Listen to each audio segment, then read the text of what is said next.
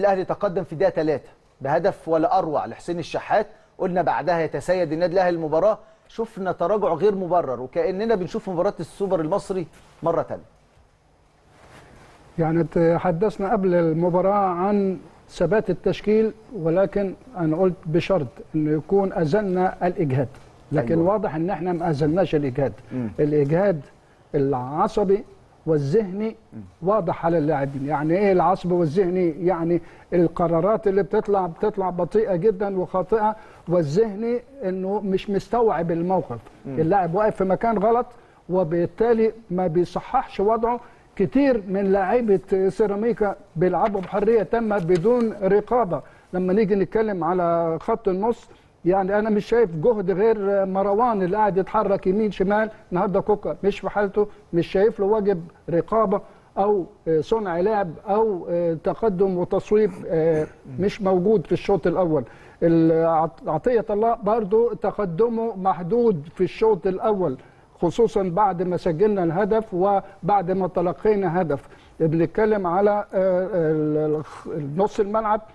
إمام عاشور مختفي مش هو ده أمام عاشور اللي فترات إحنا. مش إحنا اللي إحنا عارفينه تحركاته بطيئة آه، آه، محاولاته يمكن محاولة واحدة للتسديد من بعيد الدور الدفاعي طبعا هو أصلا ما بيقومش بيه إلا بنسبة آه، يعني بسيطة. لكن النهارده ما فيش نسبة حتى ما بيدافعش خالص. وبالتالي زيادة عددية باستمرار في نص ملعب سيراميك أكتر مننا بكتير في نص الملعب. بيلاقوا بعض بسهولة يبدأوا الهجمة وبيقدروا لغاية يوصلوا ولولا إنه الشناوي في حالة بدنية وحالة ذهنيه وحالة فنية محمد الشناوي. عالية نجح في إن هو ينقذ المرمى من على الأقل فرصتين مؤكدتين. الفريق آه، آه، مش فايق مش جاهز مش في الفورمة. الفريق بيعاني من الإجهاد الذهني ولابد من إجراء تغييرات الدفع بدم جديد يستطيع إن هو يقوم بالعمل الدفاعي بشكل جيد يقوم بالتحول بشكل جيد لأنه آه، واضح الإجهاد على إمام واضح الإجهاد على كوكا. واضح الإجهاد على طاهر واضح الإجهاد على أكرم واضح الإجهاد أنا مش عايز أقول إجهاد واضح عدم. جاهزية يوسف أيمن آه. عدم جاهزيته هو مش جاهز وبالتالي قراراته بطيئة وغير سليمة كل الأمور دي أدت إلى يعني تحول المباراة من النادي الأهلي إلى أفضلية لسرمت بدون داعي لو في رقابة في نص الملعب بشكل سليم وتحول سريع بشكل سليم كان من الممكن إن إحنا ننهي المباراة بالشوط الأول.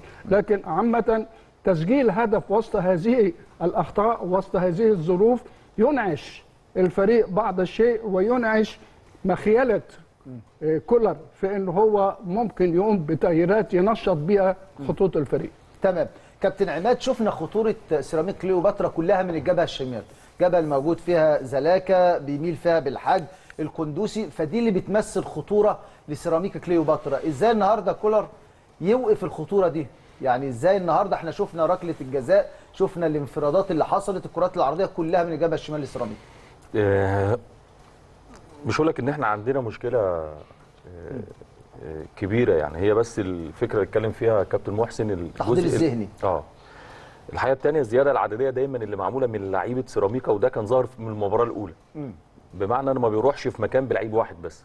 يعني دايما زلاكا استغل ال- ال- المشكلة اللي ما بين والترابط اللي ما بين يوسف أيمن وما بين أكرم. زلاكا بيلعب طرف ملعب أول حد المفروض بيقابله أكرم.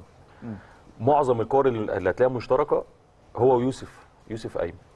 ال- ال- ال- المشكلة بس البسيطة اللي هنا دي لو اتحلت بتبديل رامي مكان يوسف أيمن داخل الملعب. داخل الملعب. ممكن ممكن تحل تحل بشكل كبير. خمس لعيبة يا أسامة قدام خمس لعيبة من النادي الأهلي. هتضيف بس عليهم محمد عادل بالحج قندوسي صادي زلاكا لاكاي. حرية في في الحركة عاملة لك مشكلة في كل الخطوط. آه، خروج بالكوره سهل جدا. اتكلمنا قبل المباراة إن النادي الأهلي وهو معهوش الكورة خطر. ده الجول الأولاني حسين الشحات. في التحضير بيكهام عمل تمريرة خطأ استغلها حسين سجلنا منها هدف. ما استغلناش التفوق اللي برضو كان في مباراة السوبر الهدف البدري إن أنت تكمل عشان تخلص المباراة.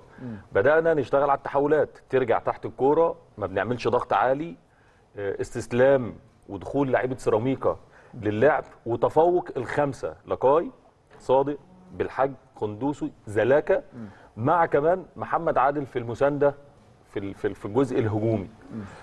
آه، خطوط بعيدة. أول مرة في الأربع ماتشات أو الخمس ماتشات اللي اتلعبوا للنادي الأهلي نلعب في خطوط بعيدة.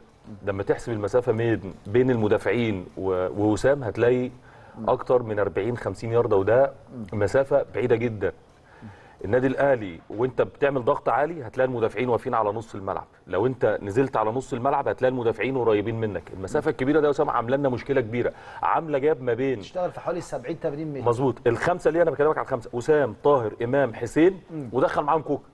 خمسة في الضغط مع باص والتاني ما بين الخطوط الخمسة بقى بره اللعب. بقت انت خلاص بتواجه الأربعة المدافعين بعدد من من لعيبة سيراميكا قدر الاختراق من الجنب اليمين لفخر لقاي و و وعدى واحد ضد واحد بشكل كويس وعمل بينية لزلاكا شالها طبعا الشناوي. بطل الشوط الأول. نجم الشوط الأولاني. محمد الشناوي من وجهة نظر. نفس الكلام في ضربة الجزاء. آه نفس الكلام للانفراد. قندوسي بدايته من كرة تانية آه، في ضربة ركنية من حسين الشحات حب يعمل مراوغة. ارتداد كان بطيء جدا ودي برضو الحاجات اللي هأكد على كلام الكابتن محسن الحاجات اللي هي الذهنية. إن أنت عارف إن إن مفيش حد في ظهرك وإن أنت ضاغط بكل فريتك في ضربة ثابتة ومفيش غير اتنين لعيبة بس ويحصل على النادي الأهلي تحول بثلاث لعيبة على اتنين ويحصل انفراد لقندوسي لكن تألق برضو الشناوي منع الهدف الثاني نهاية الشوط أتمنى إن هي تبقى بداية الشوط الثانية كويس إن إحنا خارجين بين الشوطين إحنا كسبانين 2-1 تمام. أنت لسه متقدم في في المباراة. مش ما تفكرش في ان انت إزاي تحافظ على المباراة لا تفكر إزاي تنهي المباراة.